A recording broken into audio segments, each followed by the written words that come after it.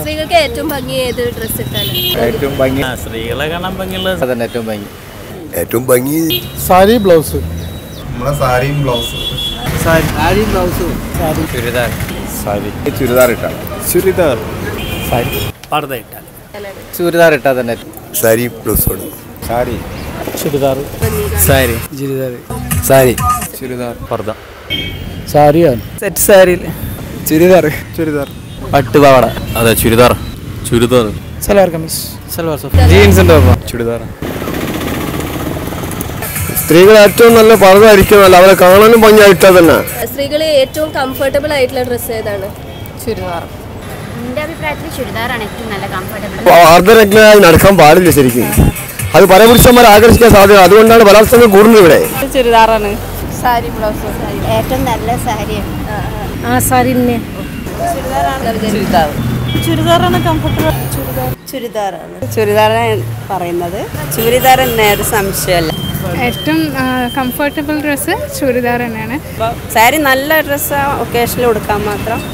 എന്നുവെച്ചാൽ നമ്മളത് ശ്രദ്ധിച്ചുകൊണ്ടിരിക്കണം ചുരിദാറാവുമ്പം കെയർ ചെയ്യാതെ നടക്കാൻ. പക്ഷെ ഒരു ഏജ് എത്തിക്കഴിഞ്ഞാൽ സാരി എടുക്കണം എന്നാണ് തോന്നുന്നത്. മുപ്പത് വയസ്സ് ആകുന്നത് വരെ ചുരിദാറാണ് ഏറ്റവും നല്ലത്. അത് കഴിഞ്ഞുള്ള ആൾക്കാർ ആ ചുരിദാറായിട്ട് യോജിക്കുന്നില്ല. അപ്പോൾ സാരിയാണ് അതിന്റെ ചുരിദാറാണ്. Jeans top. ചുരിദാർ ഒരു പർദ്ദ. ചുരിദാർ. അതേ അഭിപ്രായം. പർദ്ദ മുസ്ലിംസിന്. അല്ലാത്തവർക്ക് പൊതുവെ ചുരിദാർ തന്നെ.